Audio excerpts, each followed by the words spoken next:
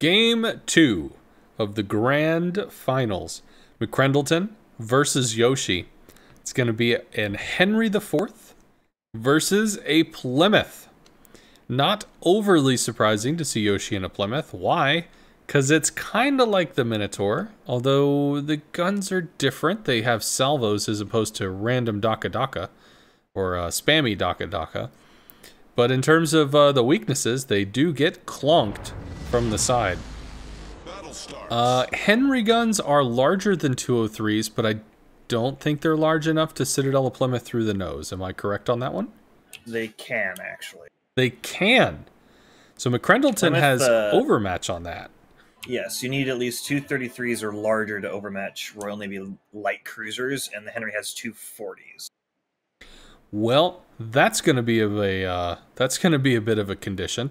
However, the Plymouth does come with a radar and a smoke.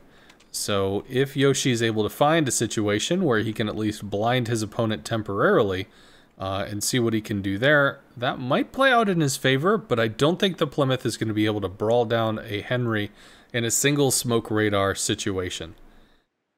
Now, I believe somebody mentioned earlier today something about a radar Mino was able to kind of like through the hydro, through the radar, Yoshi was able to whittle down somebody over the other side of an island.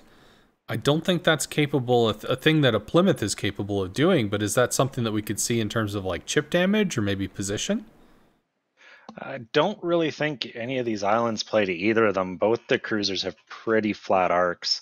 It's actually kind of one of the drawbacks to the Plymouth in a lot of situations. If you push up to get that radar in and kind of smoke farm, is you're protecting yourself with islands and they end up blocking a lot of your shells. But it looks like Rendell's just going full send he's hit that speed boost. He's probably got the main battery reload ready, and he's just he's going for it all or nothing right here.